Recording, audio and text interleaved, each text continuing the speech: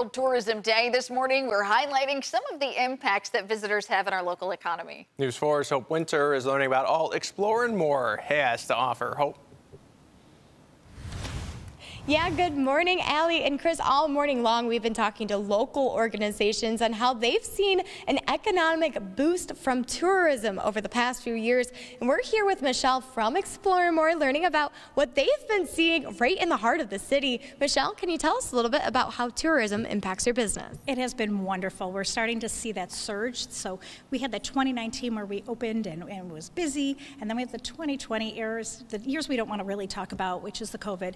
And now we're seeing families and tourism coming back. So not only people from the city of Buffalo coming to the museum, residents of Erie County, surrounding counties, but we're seeing our Canadian visitors come back, visitors from all over, which is great. We collect zip codes, so it's so awesome to see that they're coming from Texas, California.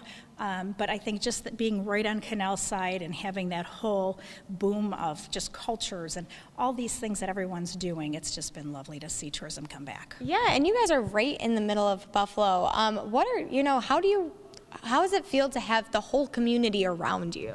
It has been awesome. So we've had a lot of construction. Uh, I hear that all the time, but construction is good. It means that we are booming. We're, we're back, you know, and it's so nice to see the visitor center you know, going behind us, Heritage Point next to us, um, and just over the next couple years, how um, the development will change the landscape of what downtown really looks like in a positive way.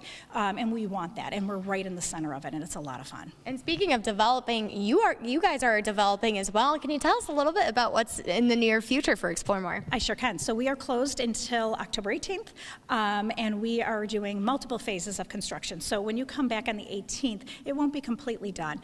Um, I think we were talking about, you know, how long will it take, and we have construction really slated all the way through 2025 in terms of bringing new exhibits in. Um, but for this particular phase, we are adding or extending our third floor. We're just too small, which is a good problem to have.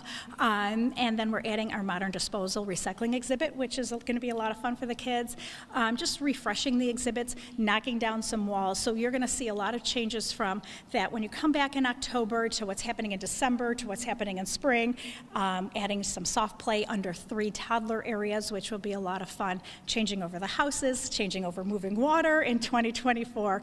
Um, but it's just been a good experience. Thank you, Michelle, so much for meeting with us this morning. And if you would like to learn more about Explore More, we'll have more information on our website, WIVB.com. But for now, live in Buffalo, Hope Winter, News 4.